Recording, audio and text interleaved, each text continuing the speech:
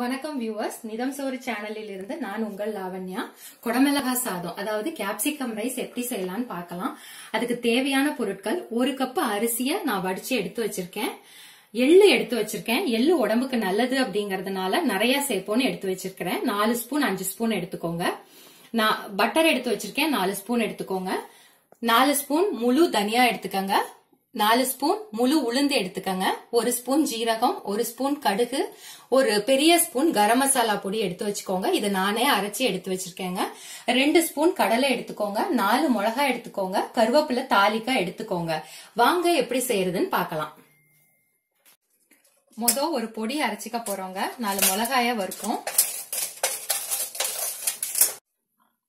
மிளகாவை லேசா வறுத்துக்கிட்டாச்சுங்க. எண்ணெய் தேவையில்ல சும்மா தான் வறுக்க போறேன் நான். அடுத்தது ஜீரகம் போட்டுக்கிறேன். ஜீரகத்தையும் லேசா வதக்கணும்.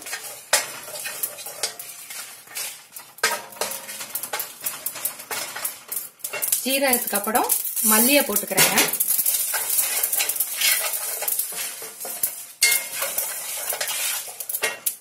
கருப்பு உளுமையும் சேர்த்துக்கிறேன்.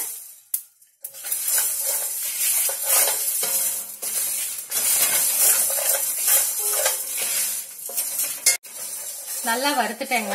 உளுந்து நல்லா வறுத்துட்டேன். உளுந்து வறுத்ததுக்கு அப்புறம் கடலையை போடுறேன் நான். அதுக்கப்புறம் நாலு கருவேப்பிலை எடுத்து வச்சிருக்கேன் இல்லையா? அதையும் போட்டுக்கிறேன். எல்லாத்தையும் வறுத்துக்க வேண்டியதாங்க எல்லாத்தையும் வறுத்துட்டு அரைச்சு வச்சுக்கலாம்.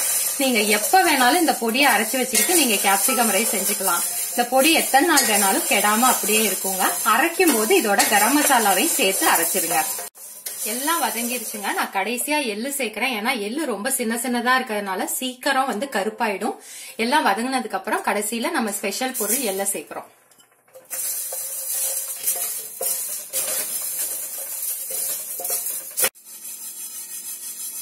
நல்லா வறுத்தாச்சுங்க. இப்ப நல்லா வாசனை வருது. நிப்பாட்டி ஆற வச்சு அரைச்சுக்குவோம்.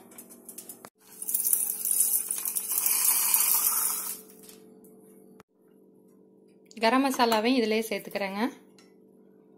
எல்லாத்தையும் ஒன்றா போட்டு அரைச்சிக்கிறேங்க. ரொம்ப நைஸா அரைக்காம இந்த மாதிரி குறை குறைன்னு அரைச்சிக்கோங்க. இதை நீங்க அரைச்சி எடுத்து எத்தனை நாளைக்கு வேணாலும் வச்சு நீங்க இந்த கேப்சிகம் ரைஸ் எப்ப வேணுமோ அப்ப போட்டு செஞ்சுக்கலாங்க.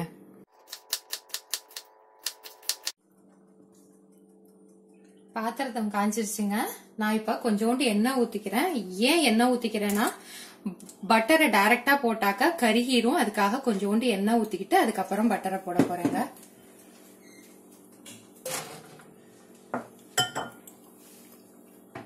இப்ப கடுக சேர்க்கறேங்க.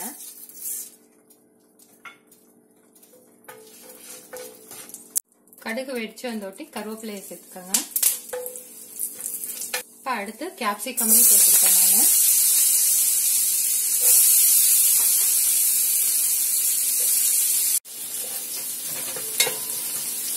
கேப்சிகத்தை ரொம்ப நல்லா வேக வச்சிடாதீங்க. கிறிஸ்பியா இருந்தாதான் கொஞ்சம் டேஸ்ட் நல்லா இருக்கும் குடமிளகாயில உப்பு ஏறணுங்கிறதுக்காக நான் இப்பயே கொஞ்சோண்டு உப்பு போட்டுக்கிறேங்க. குடமிளகாய் இந்த அளவு வதங்கினா போதுங்க. நான் இப்ப சாதத்தை சேர்க்கிறேன்.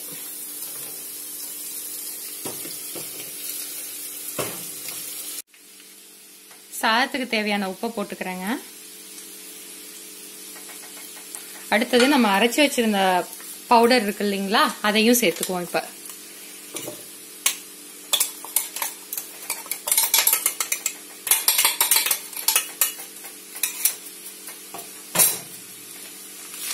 எல்லாத்தையும் சேர்த்து ஒன்னா மிக்ஸ் பண்ண வேண்டியதுதாங்க இப்ப.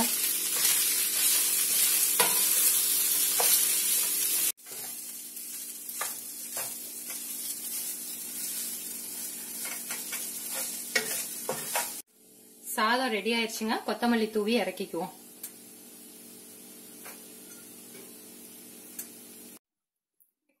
சுலபமான கேப்சிகம் ரைஸ் தயாராயிடுச்சுங்க. காலையில ஸ்கூலுக்கு என்ன செய்யறதுன்னு யோசிக்கும் போது இந்த ரைஸை வேகமா செஞ்சு கொடுத்துடலாம். பொடியை முன்னாடியே அரைச்சி வச்சுக்கிட்டீங்கன்னா உங்க வேலை சுலபம்.